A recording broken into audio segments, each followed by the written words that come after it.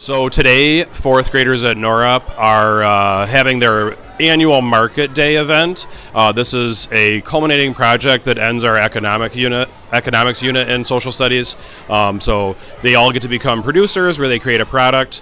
Um, they're using a various economic concepts that we learn and applying it to their business, becoming entrepreneurs. I learned about economics, um, goods, wants, needs, services. And then what we do with the money that we raise is we take some for our fourth grade fund, but then a large amount of it goes to a charity of our choice. We have some amazing products. We have some uh, wands, we have pencil cases, lots of stress balls, bracelets are always a really popular one, slime. Uh, every year I feel like the products just keep getting better and better. What are you selling today?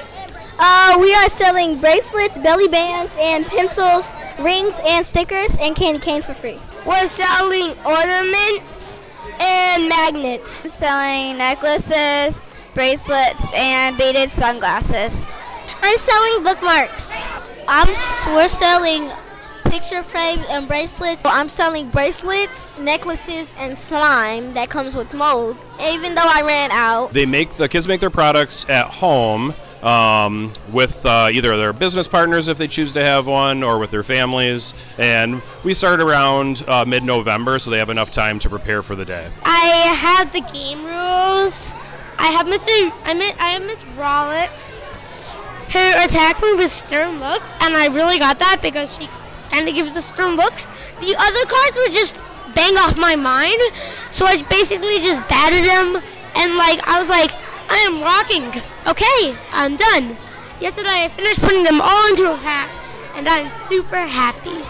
I've been saving these spiders and collecting the spiders so I can have them for this market day. The inspiration for me is just the looks on their faces of every child selling. This will make us style better. This will make us style better. Pencils, bracelets, rings, and stickers. And the other kids coming in to purchase things, especially around the holiday times. It's really nice. They get to buy some gifts for others. Um, and I just had actually an eighth grader walk by and said, This was one of my favorite memories of fourth grade. So I know that it makes a lasting impression.